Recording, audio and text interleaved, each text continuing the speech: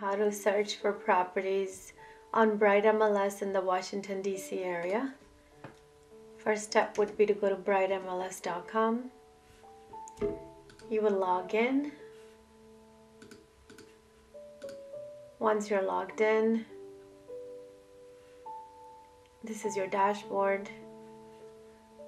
You would go to search, um, click your property type, residential sale. So the easiest way for me is to um, do a map search. And here you would either put the address or the city. Zoom out. Select either a radius, a rectangle, or a polygon. I like choosing the radius. It gives me the exact miles from my location that I've selected. Let's say I'll do a five mile radius from my location. Go back to criteria. You could either choose the county or leave it blank. Um, you could also put the city here or select it or, or not or leave it blank. Um, and under the status, I leave this the way it is. Definitely put the price here from 200 to 900 and leave this checked.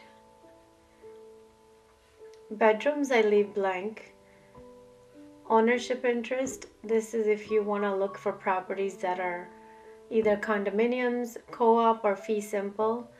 Um, I like selecting this ownership interest to specify the interest of ownership and the structure the structure type you could currently you have 57 matches of all homes that are not condos or co-op under 900,000 in Fairfax County within the map selected.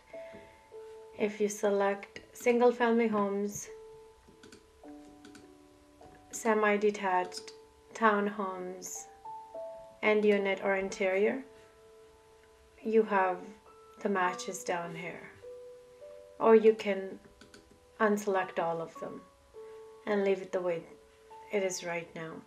Um, if you have a client that needs a garage, you would click here, or a basement would be here. Um, or homes that are foreclosures or bankruptcy, HUD homes, um, this is where you would choose the sale type. And then now, once you get the results, um, you have 57 homes I always like selecting the distance to get the ascending and descending order from the location I've selected. Uh, you could choose do this by price or by the year built, um, total square finished square foot and days on the market. But I like choosing the distance and then you could either email it to your clients or print. Another way to view this currently it's agent one line you could do agent gallery. So you get a photo with the description. Or you do a thumbnail, which will give you more options but less description. So this is how you search for properties in Bright MLS.